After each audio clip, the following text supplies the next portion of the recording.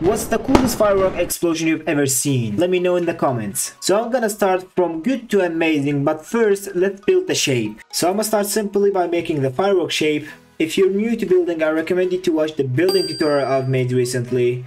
And if you want to copy this design, then make this shape and clone it as a circle. For level 1, I simply placed some TNT inside the firework, and for the fire mechanic, I placed a jet. And to make it work as a firework, I used some delay blocks to make it blow after launch in some seconds. Here is how it looks like.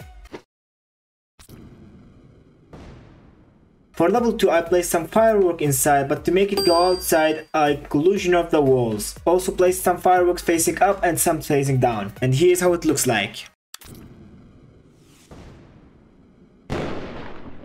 For level 3, I stacked the fireworks so there are multiple of them in one place and then bind them with the short delay so they run after each other without stopping. Here's how it looks.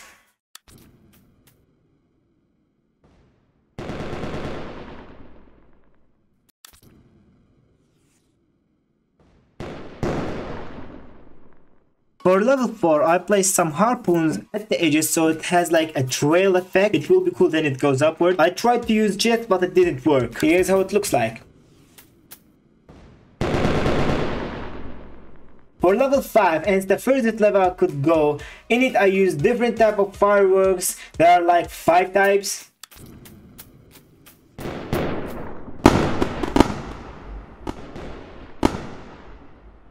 And now I'm gonna run all of them at once, so get ready because it's gonna be epic.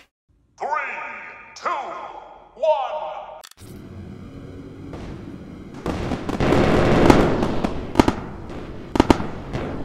What about you? Will you make your own firework? Tell me in the comments. Well, what are you waiting for? You can start by watching this video to learn basic building and if you enjoyed this then make sure to share it with your friends.